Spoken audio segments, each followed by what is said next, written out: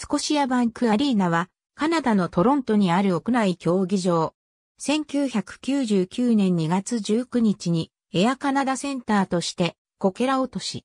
NHL のトロントメープルリーフスと NBA のトロントラプターズ、ダクロスのトロントロックの本拠地として使用されている。カナダの屋内競技場としては最大のアリーナである。エアカナダが20年契約で命名権を取得。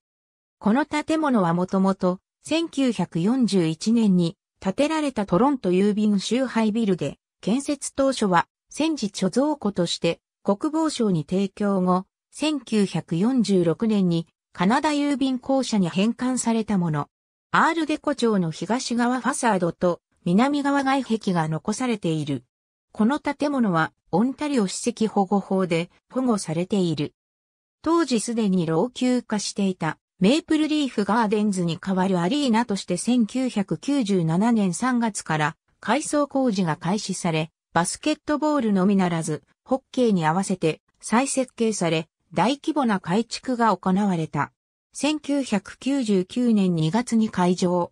2008年にエアカナダセンター西側をメープルリーフスクエアと接続する改築を実施。